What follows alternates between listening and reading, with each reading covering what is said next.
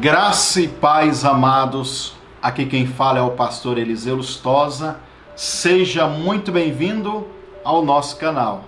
Pois bem, mais um dia de oração hoje. Vamos orar pelos parceiros, vamos orar pelos aqueles que ofertam, que dizimam, né? E se você, meu irmão e minha irmã, quer também ser um parceiro, estou aqui, ó, com o livro que nós compramos dos dizimistas. Mas na verdade não é dos dizimistas. É porque o nome já estava e eu comprei. Mas são dos dizimistas, são dos ofertantes e também dos parceiros. Os parceiros são aquelas pessoas que vão mensalmente nos ajudar a patrocinar um programa de televisão que nós temos lá em Belo Horizonte, tá bom? Então, se você quer entender mais sobre esse propósito, eu estou, ó, há sete dias de, de jejum só na água por essas pessoas, tá? Nós já fizemos um altar de oração de sete horas, tá aqui no canal, tá bom? Iremos fazer 12 altares de oração de sete horas. Já fizemos um, tem mais 11 só por essas pessoas, é orando e intercedendo por quem está nos ajudando. Provavelmente nós vamos fazer esses altares de sete horas de oração todos os meses, tá? Quando tiver algum imprevisto, uma viagem que eu tenho que fazer longa, a gente antecipa ou deixa mais para frente.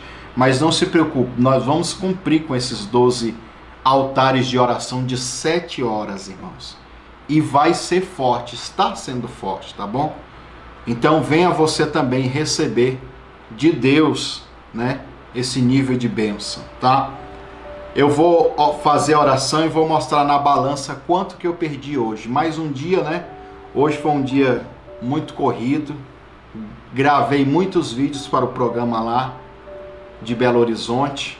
Isso gastou muita energia minha, né? Já não tem porque eu jejum só na água, mas Deus está nos fortalecendo, tá bom? Nós adicionamos aqui umas 10 ou 15 pessoas mais. Que bênção, viu? Tá só entrando mais pessoas para esse projeto. Então entra você também, meu irmão e minha irmã, tá? Eu acho que não dá para você ver aí porque essa câmera eu tenho que comprar outra lente, porque quando ela foca perto, ela desfoca, ela não consegue focar bem pertinho, tá? Mas nós adicionamos mais pessoas aqui nessa lista, tá bom? Já estamos aí com dezenas de parceiros. 70 pessoas, né, pastora? 70 pessoas já, irmãos. Olha que benção. Então, gente do Brasil, gente do exterior, tem gente da Itália, tem gente da Espanha, tem gente de Portugal, tem gente da Suíça, da Alemanha. Meu Deus, é gente dos países aí e do Brasil. Glória a Deus por isso, tá? Então, Vamos orar por cada um de vocês, tá bom? Vamos orar, pastora. Deus, nós apresentamos aqui diante de ti cada um desses parceiros, Pai. Está aqui a lista de pedidos, Pai. Toma nas tuas mãos cada pessoa, Pai. Aquelas que estão entrando, aquelas que vão entrar no decorrer desse processo eu quero adicionar cada pessoa que pela fé ainda nem viu esse propósito, mas no dia que vê, ele vai topar. Ele vai topar, ela vai topar, vai entrar no propósito. E eu já quero liberar também as bênçãos sobre eles, Pai. Eu quero que neste momento, Pai, o financeiro dos parceiros aqui, Pai, são os parceiros da tua obra, Pai, que está nos ajudando, Senhor. Honra eles, Pai. Eu não peço só bênção financeira. Venha, Senhor, na vida amorosa, resolvendo todos os problemas. Venha, Senhor, na saúde, curando as enfermidades e doenças. Venha, Senhor, sobre a família, o ministério. Aqui tem pastores, Senhor, líderes que estão nos ajudando de outros ministérios, de outras igrejas, Senhor Honra os teus filhos e as tuas filhas, Pai. Sim, pai e os abençoe poderosamente, Pai. Toma nas tuas mãos a vida deles e os ministérios, Pai. Prospere também, Senhor, esses ministérios, Senhor. Senhor Jesus, faz na família, salvando a família, Pai. Faz, Espírito Santo, os milagres acontecer, Pai, na vida financeira, colhendo toda a sorte de bênção, Senhor. Nos queremos te pedir, Pai, que o céu se abra sobre esses parceiros, Pai. Eles estão sacrificando, Pai. Eles estão dizimando, ofertando, Pai. Ajudando, Senhor. Ajuda eles também, Senhor. Abre as portas. E faz o céu se abrir. O milagre acontecer. Em nome de Jesus, Pai. Mais um dia de jejum e de oração, Pai. Que nós apresentamos os te teus filhos. Em nome de. Jesus. Amém. Amém. Seria injusto da minha parte, irmãos, citar os nomes aqui. Porque, como eu disse, são 70 nomes. E os que vão entrar, né? Vão entrando, entrando, entrando. Então, se eu cito o nome de cada um e às vezes esqueço o outro, aí a pessoa fica constrangida. Então, para não ter disso, entendeu? Estamos sempre orando no geral.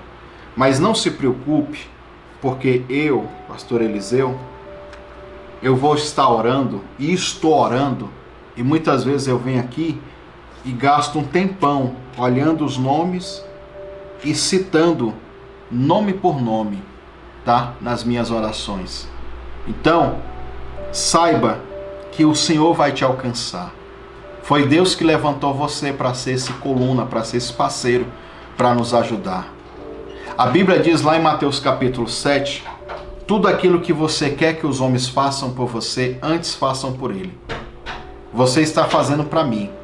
Não se preocupe que Deus vai colocar pessoas para fazer por você aquilo que você precisar. Seja em que circunstância, seja em que área, em que momento que for. Essa é a lei da semeadura. O que você planta, você colhe. Então, se prepare para isso. Deus vai colocar pessoas no seu caminho para fazer por você aquilo que você fazia para os outros. Tá bom? Você abençoa, Deus vai colocar pessoas para te abençoar também. No seu caminho. Pode ter certeza, tá bom? Vou fechar o livro aqui e vamos lá para a balança. E ainda temos mais uns dias. Ainda temos o altar de oração de sete horas. No altar da oração nós vamos estar em jejum ainda porque na madrugada do sábado para o domingo foi quando nós abriu, né? É que nós vamos entregar também. Então imagina o altar de sete horas de oração já em sete dias só de água. Não vai ser fácil, mas é um sacrifício que estamos pagando por você. E quem se conectar de coração, quem for fiel, Deus vai ser fiel e vai honrar como eu disse e falo sempre aqui no canal, se a bênção na tua vida depende de mim, eu estou aqui para fazer qualquer coisa para abençoar a sua vida. Qualquer coisa, lógico, dentro da palavra, né? O que tiver ao nosso alcance, nós vamos fazer. Uma irmã comentou uns dias atrás, tem muita gente comentando, porque eu falei já isso uma vez. Pastor, não conheço ninguém que faz isso que o Senhor está fazendo pelas pessoas. Pois é. Então você aproveite para valorizar esse sacrifício, honrando também com o seu sacrifício, porque isso nos ajuda a fazer esse trabalho. Porque, irmãos, de coração e pessoalmente, se eu quisesse falar assim, não, não vou mexer com esse negócio de igreja, de obra, de fazer oração, de ajudar a pessoa, vou viver a minha vida e ser um crente normal, sentar na cadeirinha ali e ouvir outras pessoas fazendo. Eu estava bem, graças a Deus eu estava bem. Porque financeiramente sempre Deus nos sustentou. Nós temos outros ganhos também sem ser a internet, sem ser as ofertas e ajuda. Então eu ficaria de boa, sossegado. Mas como você sabe que o chamado arde, não tem como a gente fugir disso que Deus vai chamando. E pessoas também, a gente vê as pessoas sofrendo, as pessoas que precisam de ajuda, a gente vai lá e ajuda, né? Mas o trabalho ele toma uma proporção tão grande que é necessário outras pessoas se levantar para ajudar também. Porque o que eu tenho feito, ajudado pastores, líderes, obreiros, financeiramente eu tenho feito, irmãos, tenho ajudado. A despesa é grande para ajudar outras famílias, para essas outras famílias ajudar as pessoas da igreja. Não é fácil, tá? Mas graças à sua ajuda, graças às suas ofertas, o seu sacrifício, o seu dízimo, nós estamos fazendo isso, tá bom? E eu tenho certeza que Deus vai recompensar. Dito isso, vamos lá para a balança. Meu Deus do céu. Um quilo e cem gramas, né? De ontem para cá. Vamos de novo. Tirar a prova. É isso mesmo. Tá pesando, tô pesando 103 e 300.